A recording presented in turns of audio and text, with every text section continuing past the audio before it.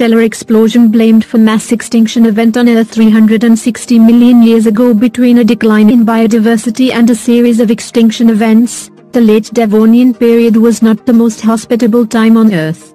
And then came one or more supernovae explosions whose resulting ionizing radiation was the final push that spelled the end for armored fish, most trilobites and other life. In a paper published recently in PNAS, three University of Kansas researchers and their colleagues lay out such a scenario for Devonian extinctions.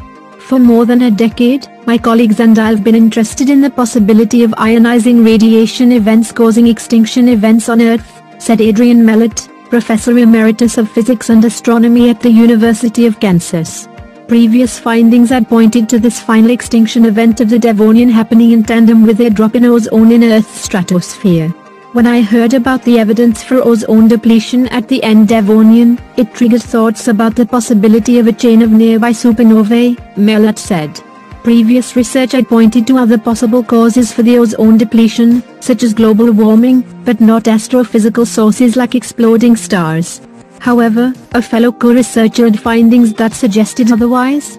Brian Thomas, an adjunct researcher in physics and astronomy and professor of physics at Washburn University, had shown that atmospheric warming and the resulting injection of water into the lower stratosphere, suggested as a mechanism to cause the ozone depletion, were just not tenable.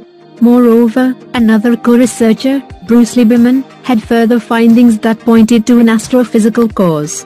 Lieberman, a professor of ecology and evolutionary biology, had previously emphasized that the end Devonian extinctions were part of a long period of diversity decline. This prolonged decline is then followed by evidence of pollen malformations, suggesting ionizing radiation as the cause.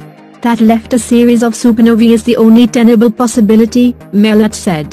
The researchers estimate the supernovae that triggered these events to be around 60 light-years away.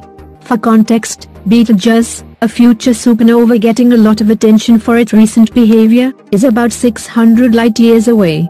The supernovae that triggered an Devonian extinction would have been close enough to cause some radiation damage on Earth, but not close enough for life-shattering damage.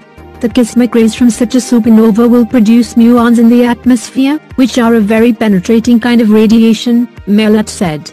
They could cause internal damage in large animals and in organisms up to a half mile down in the ocean. The major ionization of the lower atmosphere may have led to a lot of lightning, he said, which could start fires and change the climate. Please save the trees and nature, please subscribe to our channel. Thank you.